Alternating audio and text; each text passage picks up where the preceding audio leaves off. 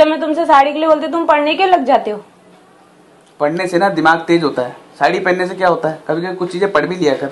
अच्छा दिमाग तेज होता है? क्यों नहीं होता? तो मेरी एक ऐसी तारीफ़ करो जिसे मुझे सुन के खुशी भी और गुस्सा भी आ जाए। करो करो करो। तुम ना मेरी ज़िंदगी हो। यार थैंक यू और थू है बहन देसी ज़िंदगी पे।